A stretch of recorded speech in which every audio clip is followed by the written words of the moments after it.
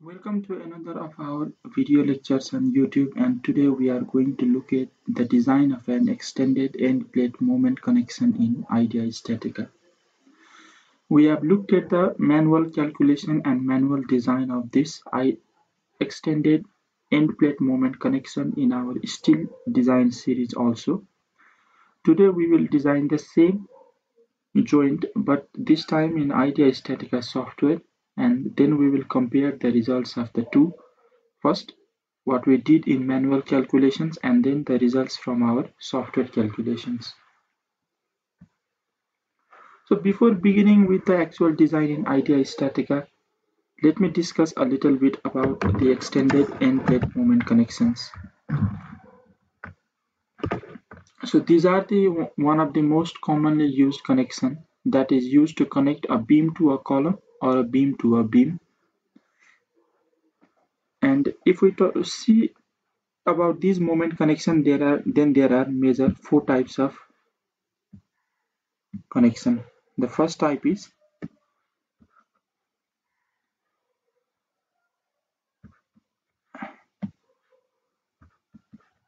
the first type of our extended end plate moment connection is 4 bolt unstiffened connection. We have 4 bolt unstiffened then we have 4 bolt stiffened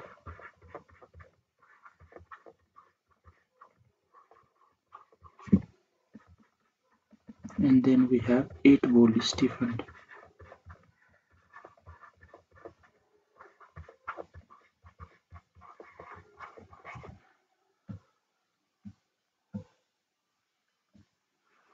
So these three are the most commonly used type of end plate moment connection.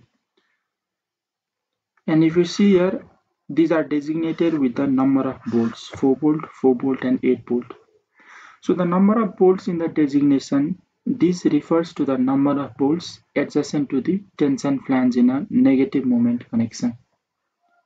So these 4 bolts are the number of bolts in the tension flange and the same number of bolts that is 4 bolts are also used at the compressive flange so that they may resist the moments in case of moment reversal.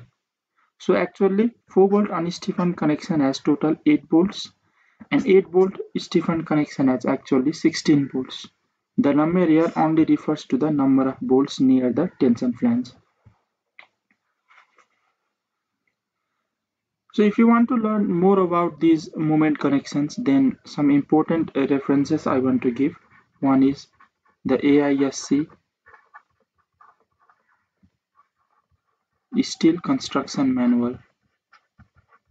This is published by the AISC and in this manual, if you look at part 12, then you can know more about the design of fully restrained moment connections. Similarly, specific to this type of connection, that is our extended end plate moment connection, AISC has also published two design guides. One is the AISC Design Guide 4, which is generally used for both static and seismic loads, and another is AISC Design Guide 16. This is primarily used for static loads only. So design procedures have been discussed in both of these design guides that is design guide 4 and design guide 16. So this is the general introduction to our type of connection that we are going to design today. Now we will start with the design in IDEA Statica and remember in our steel design lecture we used this end plate moment connection to connect these two beams and columns. This was our column which was composed of two ISMC 300 channels and these were connected by 8 mm thick batten plates in this way. So the depth of our column section was 300 mm excluding the width of these batten plates and the width of our column section was 225 mm. So this column was connected to our I-beam which was our ISMB 250 section. And to connect these two beams and columns, we use the 4 bolt unstiffened connection.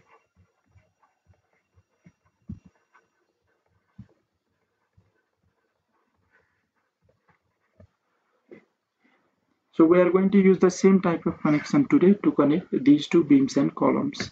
So now let's go to our software. I have already opened IDEA Statica here. Go to connection.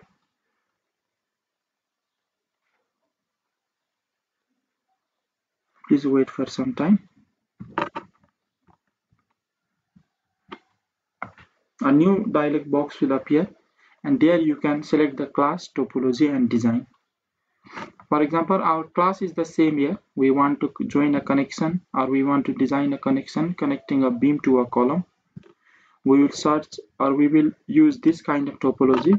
And the type of moment connection that we will be using is this type here which is our extended end plate moment connections. Why is it called extended? Because you can see that the end plate that is used here has extended beyond the flanges of the beam. If this end plate was flush in level with the flanges of our beam, then we will call it just an end plate moment connection. But since the end plate has extended beyond the flanges, we call it extended end plate moment connection. So the steel grade we will be using for now is Fe250. The bolt assembly let me select by clicking here 8.8 grade bolts but of 16 mm diameter so M16 8.8 and concrete grade M20 let's leave as it is. The design code that we will be using is Indian. You can even give the name and description of your design here. I will leave those blanks and then I will click on create project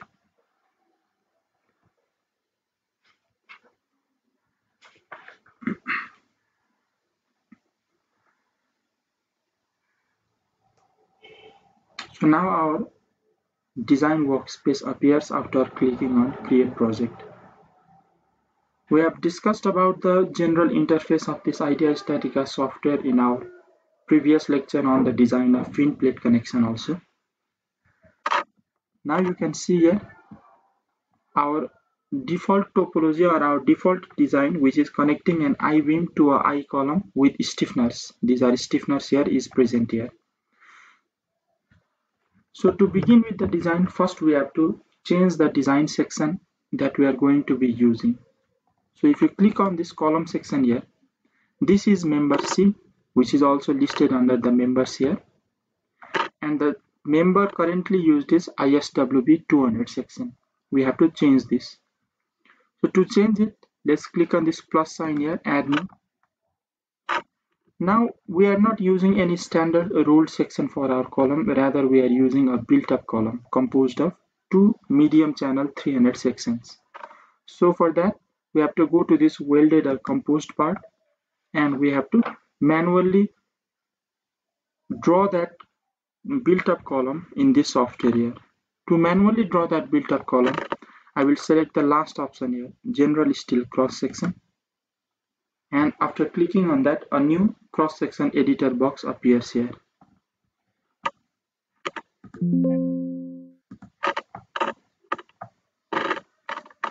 So in this general cross-section editor we have to draw a new built-up column.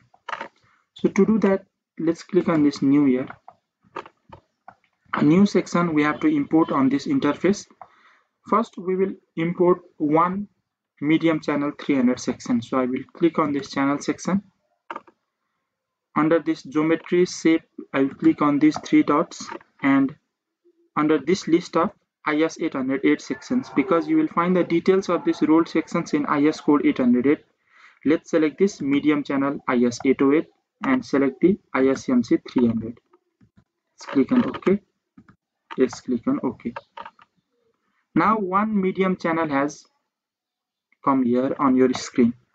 Now we have to import another medium channel section also because we are using two ISMC 300 sections. For that click on new again. Select the channel sections. Then select the geometry as ISMC 300 okay again click on ok. Now another channel section has also been drawn here or brought to this interface but you cannot see that because it is overlapping with the first channel section so if you look at the table below here cross section components the first section is also ISMC 300 and the second section is also ISMC 300 by selecting this ISMC 300 let me rotate this by some amount so that you can visually see both of these sections. For example under this RX1 here I will type minus 180 degrees and press enter. Now you can see another channel section also which has rotated about its axis and now both are visible here. So here we saw that the distance between these two channel sections were or the total dimension was 225 mm. This 300 mm is according to the depth of the section which is 300 mm. Now we have to separate these two channel sections in such a way that the total distance along this axis will be 225 mm. So let me minimize this and let me click on this dimensions here so that the dimensions will appear on your screen. Now you can see that the dimension here currently overlapping is total 66 mm and 66 mm. If you add these two this will come out to be 132 mm. So by selecting on this second ISMC here if you insert the value of y that is offset in y distances minus 132 which is summation of 62 66 plus 66 now you can see that these two channel sections have further separated. Now they are just touching each other at the tip of their flanges but now they are totally separate. But this 180 mm is not our total dimension here our total dimension is 225 mm so to get this to 225 mm we have to further add 45 mm. So here what we will do is we will perform 132 plus 45 mm which comes out to be 177 mm. So our total offset here should be minus 177 now you can see this has been drawn here. Now we have to connect these two medium channel sections using plates and these plates will be along this width of this composite column or this built up column here. To insert the plate do the same thing. Go to new. Now the plate that or the batten plate that we want to insert may not be a standard plate. So we want to give our own thickness and own dimension.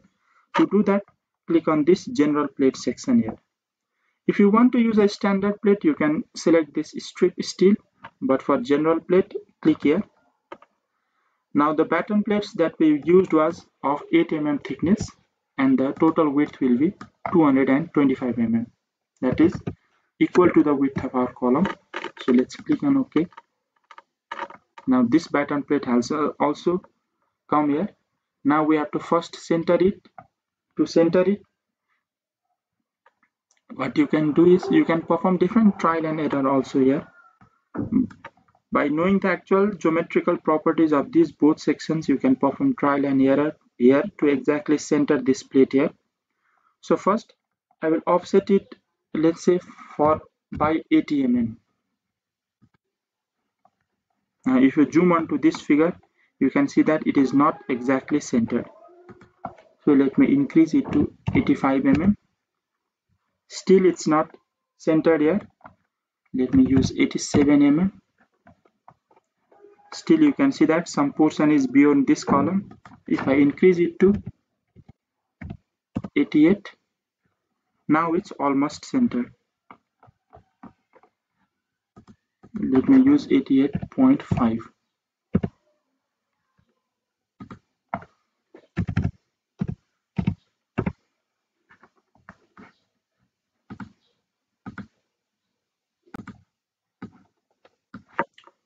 so now after using 88.5 this is exactly centered.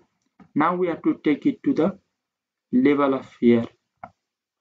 So to do that we can just offset it in z direction by if you see here the depth of one half of the section is 150 so let's say 150 now if you zoom here you can see that this channel section and our plates are overlapping and that is due to the thickness of our plate section.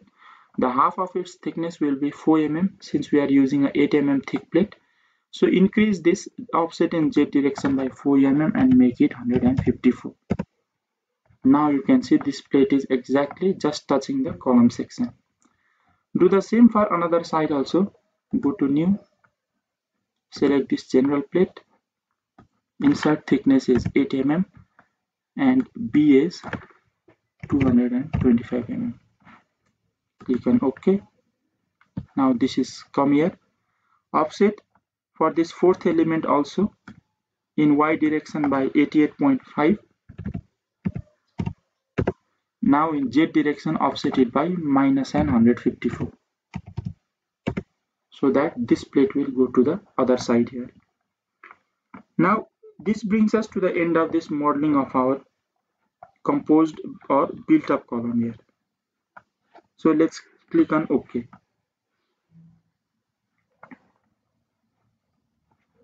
Now you can see that our built up column has been replaced as member C here. You can see here what is written is stiff one cannot execute the operation. This is because previously when our column section was an I section there was stiffeners used but we don't need these stiffeners now. So under these operations here the stiffener right click on this stiffener here and let's click on delete here. Now this error warning has gone. After changing the column section I will change the beam section which is B here. Our beam section is ISMB 250 you can see that ISMB 250 section has already been used here so I did not change this for now. So after making this adjustment for beam and column now let's make the adjustment for end plate here. Select this end plate and the corresponding properties of end plate editor will appear on our right hand side here. Let me change the view of our drawing here. Now you can see the side view so for end plate there are some values to insert here. For example first is member one. This member one is our beam b here. Member one represents the first member that is to be connected by the end plate. We do not need member b here since we are only concerned with the connection of one beam with our column. If there were two beams another beam coming from another direction then you have to specify member 2 also. Our connected to section is our column here. So the material is fe 250 grade and the thickness of our end plate let's leave this as 10 mm for now. Our connection type is bolted that means what type of connection that we want to use between end plate and our column. Currently our end plate is connected to our column using this bolts here if you want to use welded sections then you can click this drop down menu and also select welded here now you can see that the end plate is also connected to our column using the welds here but we want bolted section so let me just select bolted here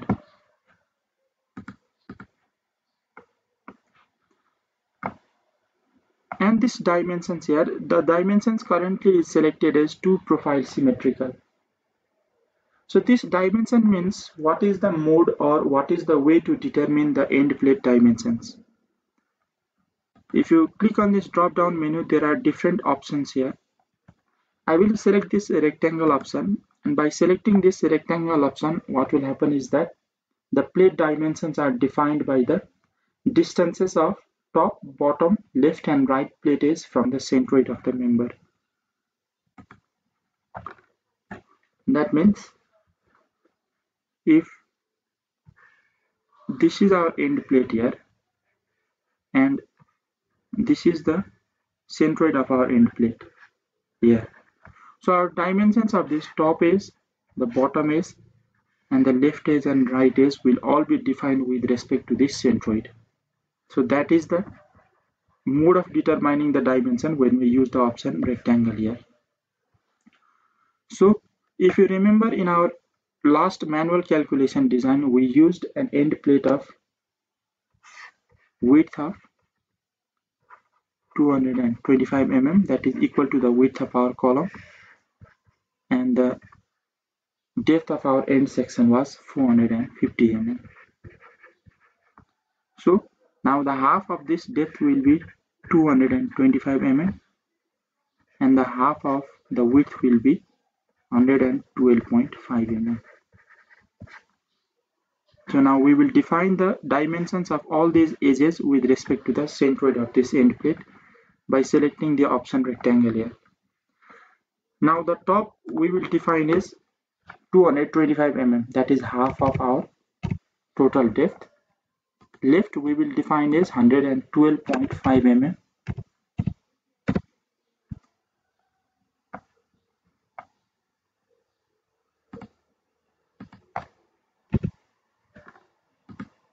The bottom will also be defined as 225 mm and the right will also be defined as 112.5 mm. So in this way the dimensions of our end plate have been determined here. So this backing plate we don't need here. This notch will be needed when flanges of beam are aligned to the flanges of column and are in collision. So when, when we are using both column and beam sections as I section, then in that case the flanges of the beam and column may come in contact with each other to do that we have to insert a notch and then we can select this notch here and then determine the notch offset but for now we don't need the notch now let's come to bolts that we are going to be using. The bolt we have selected as default. During the beginning of our design process was 16 mm dia bolts of grade 8.8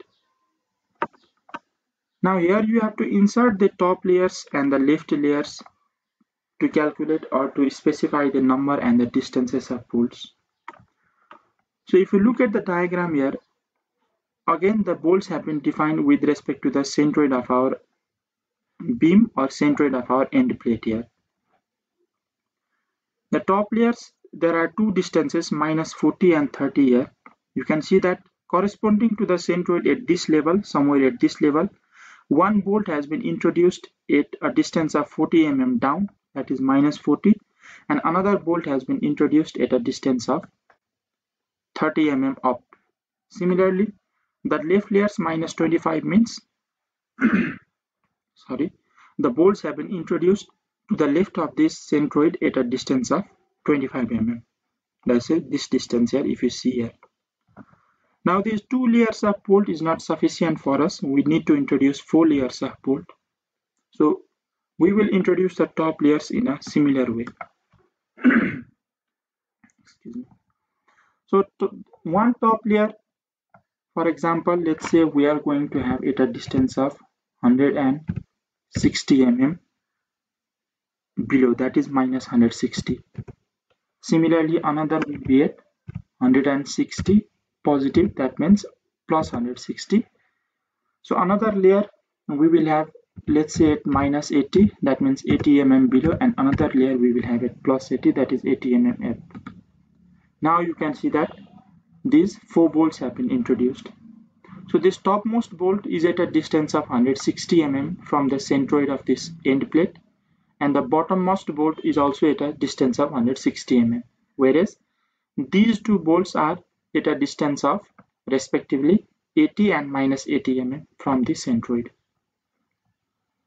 Also now for the rows of these bolts we need two rows of the bolt and to introduce the two rows of the bolt we have to insert another numerical value on this left layer here. So we will this 25 mm distance is very less and uh, we can almost see that this beam and the bolts have almost come to overlap.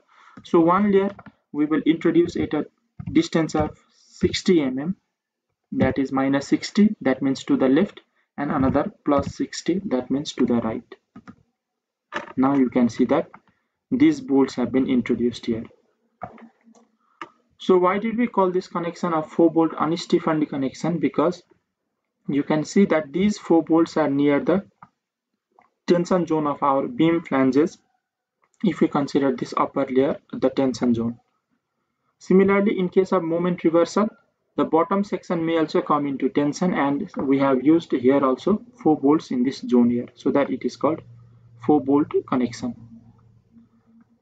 Now shear plane in thread has been checked here. This checking ensures that we use the gross diameter of the bolt minus the, the area of the threads while calculating the forces and the shear force transfer has been selected as bearing tension shear interaction such that the tension shear interaction will also be checked during the design of bolts. Now finally we have come to this weld here. These bolts have been used to connect the end plate to our column section whereas these welds are used to connect our beam to our end plate. So while manufacturing these type of end connections what generally happens is that the beam is connected to the end plate using the welds in the factory or in shop itself, whereas to connect the beam to the column section that is usually done in the field. So to specify the size of weld, size of weld, we first have to introduce or give the value of its throat thickness. So if you leave this throat thickness at zero, the weld thickness is determined automatically according to the thickness of the plate. But for now, we will give some value of it. For example, for flanges, let us suppose that we are using 10 mm thick bolt or weld, sorry, not bolts. And web, we are using a throat thickness of 8 mm. So this value is coming from the manual design itself. So I'm using the same value here. This material you can either select the material of your bolt or if you leave the material as default then the material is determined automatically according to the material of corresponding plate so let me select this as default and we are using this double fillet weld for both beam and flanges and webs of our beam so this option has been selected here now our input of cross-sectional dimensions end plate bolts and welds are complete the final thing left to be given as input is the value of our loads here. So under the load effect, select LE1. The load that was coming onto our structure here, you can see it is being represented by these two arrows. The first is the shear force, which is by default here 20 kilonewton in the downward direction. From our design data, the value of our shear force was about 80 or 90 kilonewton.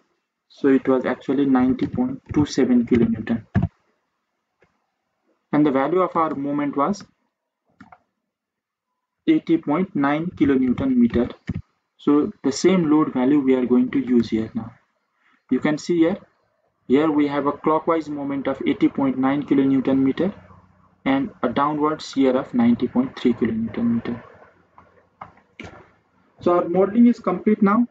Our load application is also complete. Now we will go for the design and check of our connection here.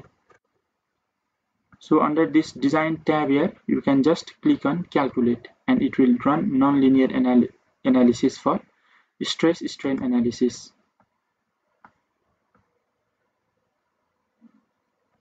so the iterations are being performed here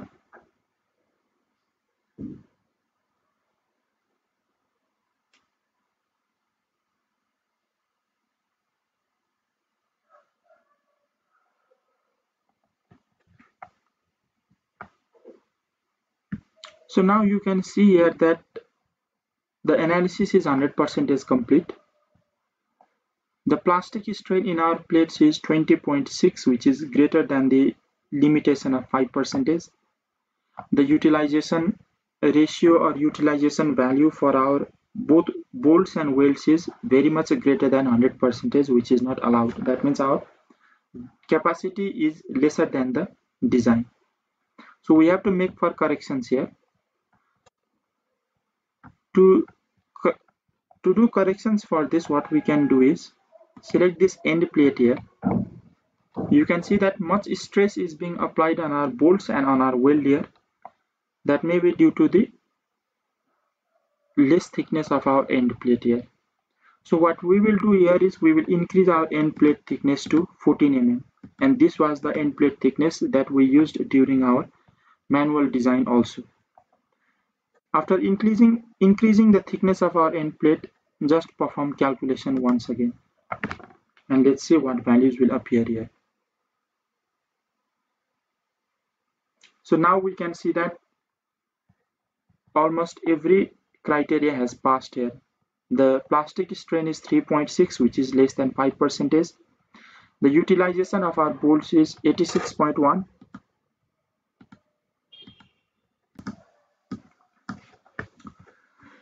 The capacity of our bolts have also been used to 86.1 percentage and our capacity of weld have been used almost 100 percentage. So to make our welds safer, what we can do is we can make some changes as we did during our manual design here. So what we did there was for the welds in our flanges here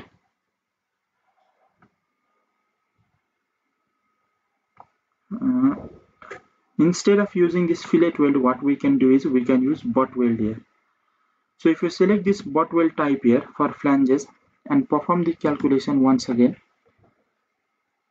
let's see what we get here.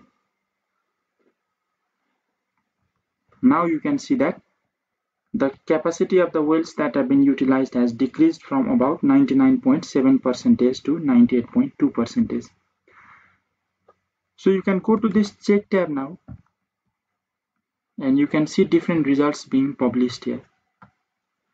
Our design is safe and our design is complete here you can see the results for different plates here. So what you have to remember is the design methodology or the design principle of this idea statica that is known as CBFEM or that is the component based finite element method. So even for our these I sections these box sections and all of these end plates what this software does is this separates these members into different plates and the analysis is performed for each plate here. For example you can see all of these item represents the different plates of our column section here.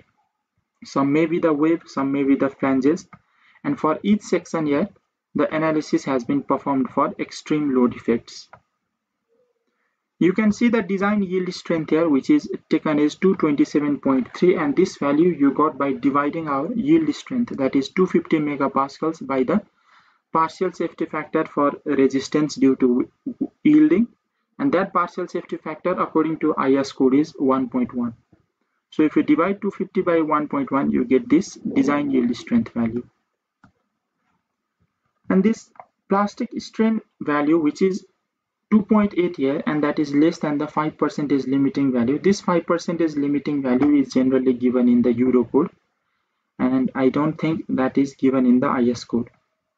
So when the stress in our certain plates exceeds the design yield strength then that plate goes into the state of plastic strain and that level of plastic strain should be less than 5 percentage but the maximum plastic strain in our design has come out to be 2.8 percentage and it's okay so these are the design results for plates these are the design result for bolts and also we have the design result for welds here. So besides this design result in idea statica you can also visualize the level of stress. So if you click on this draw equivalent stress option here then the stress contours of our this connection is displayed here the maximum stress level that can reach is 227.3 megapascals. That is the design yield stress here. And beyond that plastic strain will be introduced in our connection and that plastic strain maximum is 2.8 here as we discussed which is less than the limiting value. Similarly you can also see the deformed shape here. If I select the mesh and select the deformed option here you can see the way that the deformation takes place in this joint. You can also increase the scale of deformation to visualize this deformation more clearly. Suppose, let's see here, we have increased it to 20 and now you can see the large deformations that can be visualized here. So this deformation is corresponding to the fact that our moment is anti-clockwise here and our shear is also acting in the downward direction. Because of these downward forces and downward moments, the upper zone is in the tension zone and high stress is being introduced at the bolt sections in this tension zone. If our moment were anti-clockwise and the shear was also acting upwards, then this zone would be seen here in the bottom zone here. That is, the tension zone would be visualized here. So based on the application of our load, this deformation is actually correct. So after looking at this deformation, finally you can also generate reports.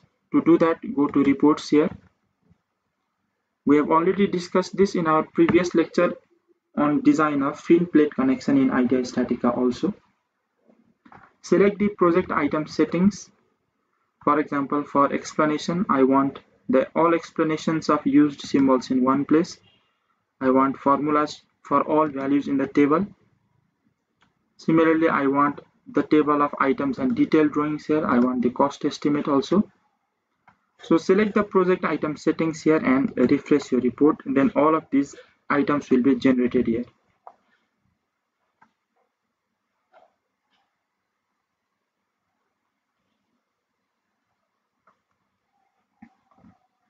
Now you can see here the general cross section, bolts, load effects, the checks that have been performed here, the results for our plates, the strain check, the results of our bolt. You can also get the design data here. You can see that the detailed results have been published for all of our 8 bolts that is for bolt B1 similarly bolt B2 in this way the results have been populated for all of our bolts till B8 here B7 and B8 also here and also the detailed design results have been populated for weld items also. For example here one you have here another you have here. Similarly the cost estimation sheet have also been given. You have billing of materials and finally you have the drawings also. This is the drawing of our end plate. And then you have the symbol explanation at the very end. And these code settings so here we have completed the design of this end plate moment connection you can also Go back to our previous lecture on manual calculation and compare the results of this to the results of the manual calculation. That I will leave it upon you. So we have come to the end of this lecture. We will meet again soon in another lecture. Till then stay safe and thank you.